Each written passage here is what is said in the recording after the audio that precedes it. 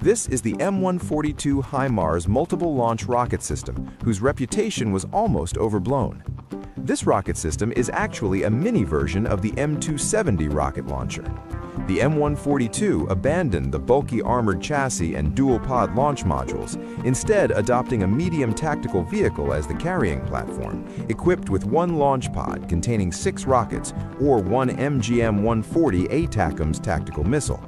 Although HIMARS carries half the payload compared to the M270, its off-road mobility and survivability have significantly improved, making it highly effective for precision strikes and fire support missions. What makes HIMARS terrifying is the explosive fragmentation warhead it carries. It can instantly disperse 3,864 submunitions with a strike area equivalent to six football fields.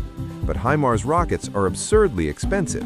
Each launch costs as much as $600,000.